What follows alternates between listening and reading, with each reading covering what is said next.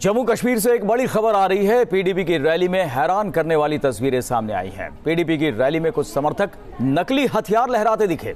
समर्थकों के हाथ में एके 47 और पिस्टल जैसे हथियार थे। हालाँकि ये हथियार नकली थे, लेकिन पब्लिक रैली में जिस तरीके से हथियारों का प्रदर्शन किया गया, उस पर सवाल खड़े हो रहे हैं। ये तस्वीरें बडगाम की हैं, जहाँ बड़ी संख्या में पीडीपी समर्थक ढोल नगाड़ों की धुन पर झूमते भी दिखे और उन्हीं में से कुछ हथियार लहराते नज़र आए। आपको बता दें कि कुछ दिन पहले महबूबा मुफ्ती ने पीडीपी कार्यकर्ताओं को असली मुजाहिद बताया था। तो आखिर हथियार लहराए जाने के मायने क्या हैं?